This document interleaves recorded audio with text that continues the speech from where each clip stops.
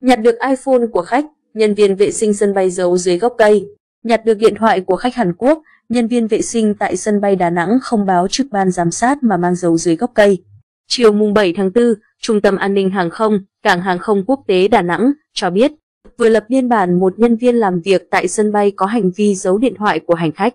Trước đó, lúc 11 giờ 45 phút ngày mùng 1 tháng 7, Trung tâm An ninh Hàng không nhận trình báo của hành khách H. G.